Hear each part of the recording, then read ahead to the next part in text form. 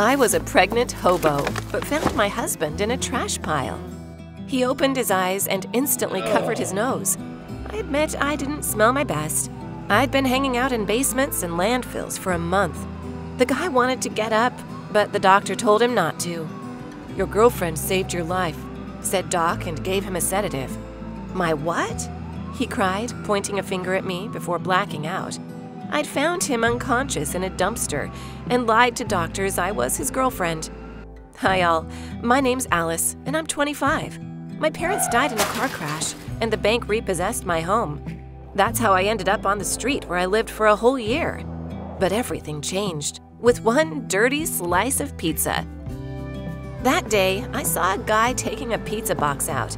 A leftover slice was sticking out of it and beckoning to me. It had been ages since I had fresh, tasty pizza. I followed the guy to pick up the box, but then he collapsed. I ran up to him and checked his pulse. It was barely there. I started doing CPR and mouth to mouth like my late mom had taught me. She used to be a nurse. Someone called an ambulance. And in 10 minutes, I was off to the hospital with the poor guy. Because I was his girlfriend. At least that's what I said to the surprised doctor, so I could stay in the hospital for warmth. I spent the night at the hospital.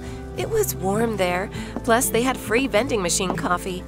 The next morning, they woke me up and kicked me back out on the street.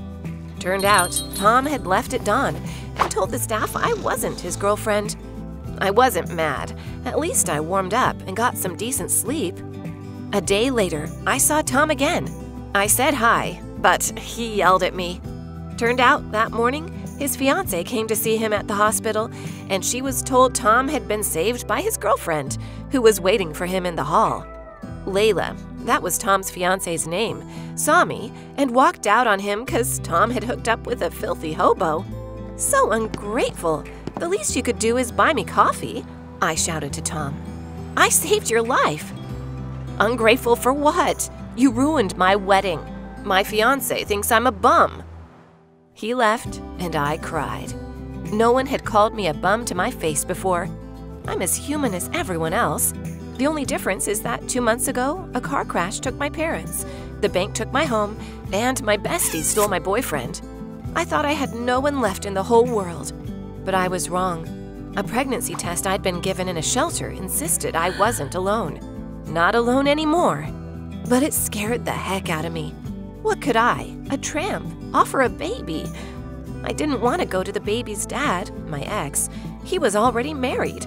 Abortion was my only option. I found a charity center that helped the poor with family planning and covering bills for medical procedures. They heard me out and gave me a paper with an address and a date. The day before the procedure, I went to a church to get warm. It was one of those places where they didn't kick me out. I came in just as the children's choir was singing. Their prayer song made me cry. Mom used to sing it to me when I was little.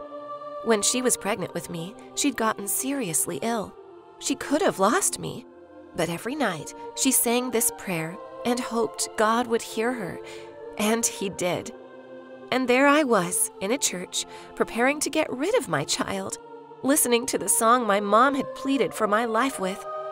I took out the paper with the address and left it on the bench. I didn't know what to do next, but I knew exactly what not to do. Four months later, I saw Tom outside the store. He was surprised by my baby bump and came up to me. You got a name? He asked. You must be cold. Come with me. I've got coffee. Tom offered me a shower and gave me his clothes. We sat down to dinner. He didn't ask me about my pregnancy. I assumed he didn't want to pry. Thanks for saving my life, Tom finally spoke. I didn't respond, but felt a sense of pride. Tom told me he'd tried to make up with Layla all that time, but she wouldn't budge.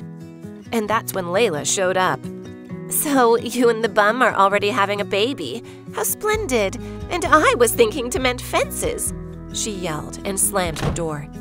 Tom ran after her, but couldn't get her to come back. I realized I was the third wheel here. I'd better leave, I said, heading for the door. You still here?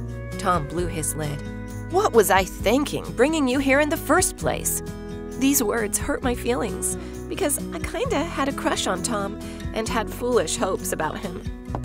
Alice, get him out of your head. You're just a tramp. But I couldn't forget Tom. Five months later, when I went into labor, I banged on his door in the middle of the night.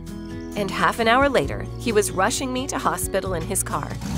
I had a baby girl, the most beautiful and unfortunate girl. I cried with joy and despair. I'm gonna keep you, my sweet little girl, I whispered to her. I gave you life, and that's all I have. Tom visited me all the time after the birth. He paid all my medical bills. I couldn't look him in the eye out of shame when he'd come. I ruined your love life, I'd say. You should have left me in the hospital. But Tom was just silent. And then he led Layla by the hand right into my ward. I felt gutted. I figured they'd made up. But Tom pushed her in my direction and shouted, She has nothing and still had a baby. You've got it all, but you don't want to bring a new life to this world? While Alice gave birth living on the street. I couldn't understand what was going on. But Tom explained.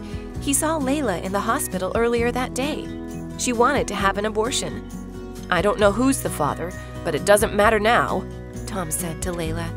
You just proved you're incapable of building a happy family with anyone. But now I know who I want to see by my side. And that's how I found my home and husband. If you liked my story, let me know in the comments and tell us what stories you'd like to see on our pages. See you later!